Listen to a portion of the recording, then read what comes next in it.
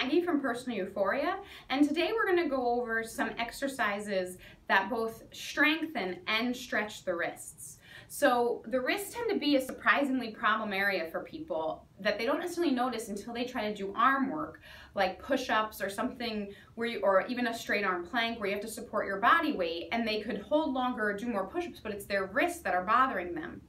So if you have arthritis or something like that, just getting as much movement in your wrists and getting them to move is, is an exercise for you, right? So you could roll the wrists and bend without any weight and just knowing that that's your range of motion. You want mobility in the wrists, kind of in every and any direction.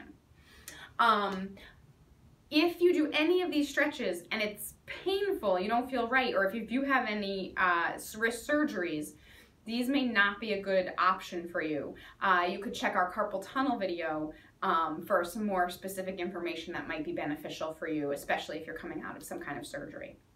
So first of all, we're gonna start with a gentle stretch.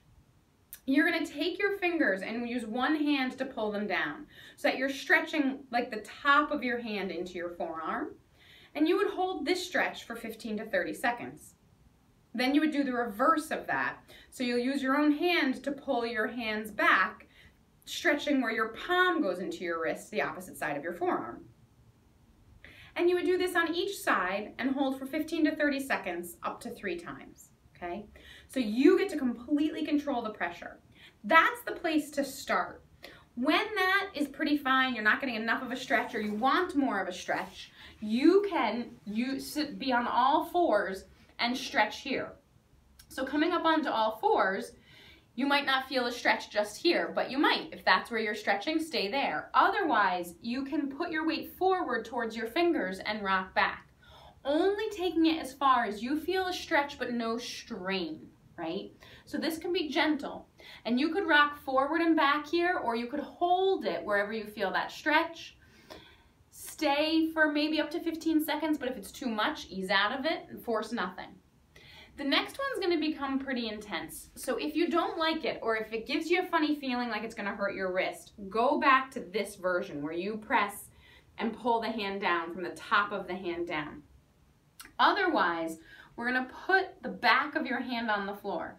Now you can do one or both sides, but you might feel really unstable or really uncomfortable, and that's okay. Don't feel like you have to force that.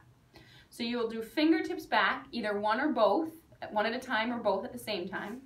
And if you want more of a stretch, you could lean back a little bit, but it's not gonna be big, right? So very, very gentle here, forcing nothing. Then our final option is to turn your fingers towards your thighs.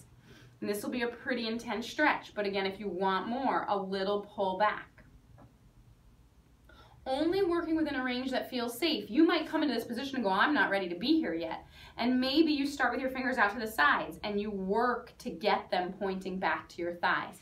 It does not all have to come at once. And if you force your body too fast, uh, it won't respond well. And you could hurt yourself. Uh, next, we're gonna do some wrist strengtheners. And for that, you're gonna want um, gentle one or two pound weights or a soup can. And again, if this is new for you or if you have arthritis and adding these weights is an aggravant, do these movements without the uh, weights, just with your arms.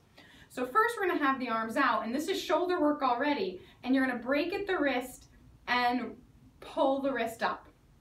So the balls or palms are facing each other up to eight or 10 of those, okay?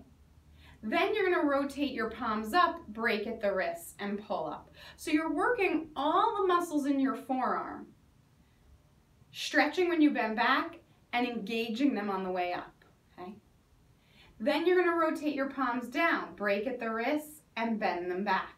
For whatever your full range of motion is, right?